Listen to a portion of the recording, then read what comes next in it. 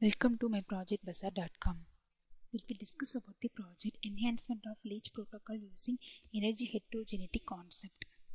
Let me discuss about the abstract of the project. Advances in wireless sensor network technology has providing the readiness of small and low cost sensor nodes with the aptitude of sensing various types of physical and environmental surroundings.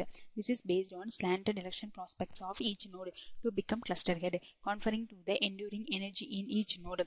The recreation result shows that the modified LEACH yields extended stability section for higher values of extra energy taken by more powerful lumps.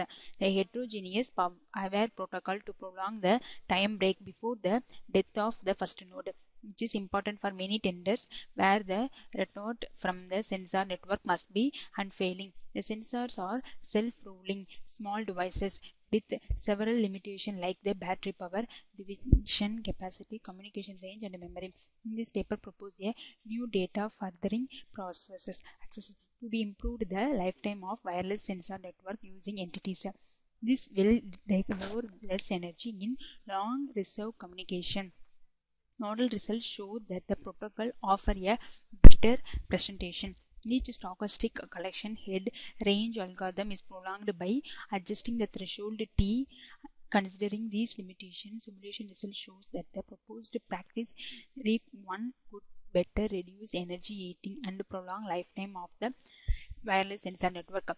A GA is an efficient searching algorithm that mimics the adaptive evaluation process of natural systems. It has been successfully applied to many NP hard problems such as multiprocessor task scheduling optimization and traveling salesman problems. We propose here to apply a GA to the problem of finding optimum number of cluster head based on minimizing the communication consumption energy of all sensor nodes to efficiently maximize the network lifetime and to improve the stability period. Our modified protocol improves the stable region of the clustering hierarchy processes using the characteristics parameters of heterogeneity, namely the additional energy factor between advanced and normal nodes. Cluster head selection is randomly done and then take into account the additional energy factor between advanced and normal nodes of sensor node. Let me discuss about the flow diagram for our process. In the sensor deployment randomly phase, eh, randomly deploy wireless sensor plays an important role in the quality of the methods used for data acquisition and signal reconstruction.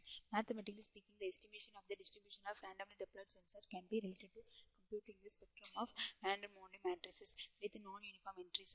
The randomness of the deployment of the sensor may have several reasons.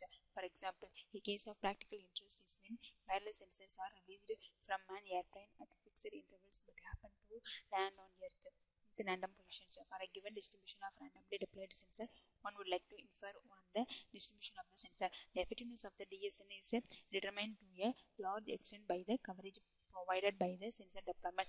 Positioning of sensor affects coverage, communication cost, and resource management. In this paper, we focus on sensor deployment strategies to maximize the coverage for a given number of sensors within a cluster and cluster-based DSNs. Next, in the genetic algorithm simulation phase. Genetic algorithm or family of computational models inspired by evaluation. This algorithm encode a potential solution to a specific problem on a simple chromosome like data structure and apply recombination operator to these structures as so as to preserve critical information. Genetic algorithms are often viewed as a function optimizer, although the range of problems to which genetic algorithms have been applied are quite broad. An implementation of genetic algorithm begins with a population of chromosomes. One then evaluates these structures and allocated reproductive opportunities in such a way that these chromosomes, which represents a better solution to the target problem, are given more chances to reproduce than those chromosomes which are poorer solution. The goodness of the solution is typically defined with respect to the current population. The solution generated by the genetic algorithm is called the chromosome. While collection of chromosome is referred as a population, chromosomes composed of genes and its value can be either numerical binary symbols or characters depending on the problem want to be solved. Next in the LEACH protocol. LEACH protocols plays an important role in the response the uneven energy distribution that is caused by the randomness of the cluster hits forming.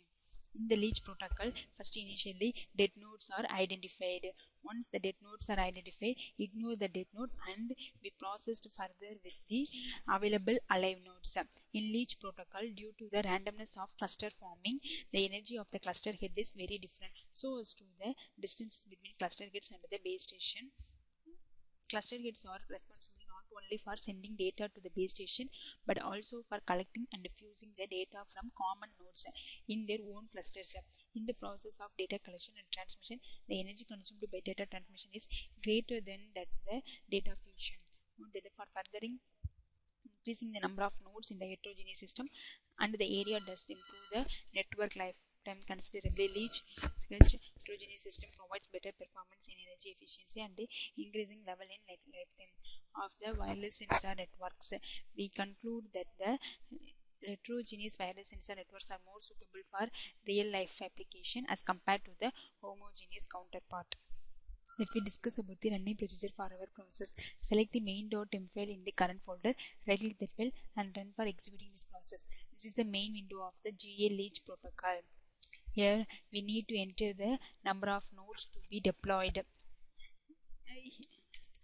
By pressing the node deployment, we deploy the 100 nodes in the area specified.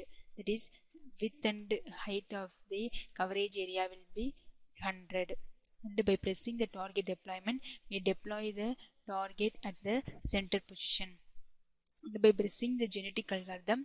We perform the genetic algorithm simulation process. This is the simulation tool for the genetic algorithm. Here we need to enter the fitness function. Here I use the fitness function in the name of uh, selection and the number of variables used in the fitness function is 1 now by pressing the start button we got the optimized value. And after that we obtain the optimized value. We, by pressing the cluster head button we perform the cluster head operation. This window repeated for maximum number of iteration.